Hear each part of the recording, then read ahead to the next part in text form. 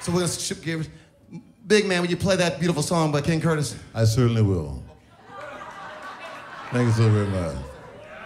I, I, I want to tell you, this is a very special time of the year for me, Christmas.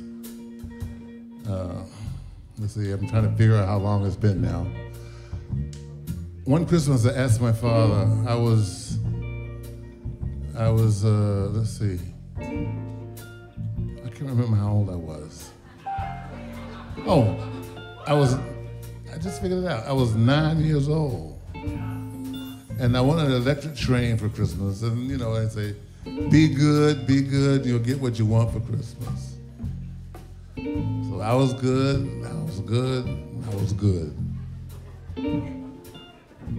Christmas morning, I, I get up and I'm so excited knowing that there was a saxophone in that big box that had been sitting under the tree all that long time. And I went in and opened the box up. What is this? What kind of saxophone is this? It ain't got no wheels on it. And I never found the wheels until I heard King Curtis play. And King Curtis taught me how to make that thing run. It was 60 years ago. 60 years ago. Wow, that was, yeah, I'm 69 years old now.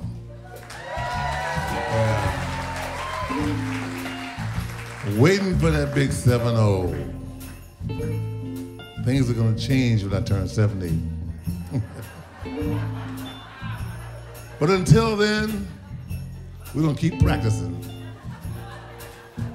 Practicing for 70.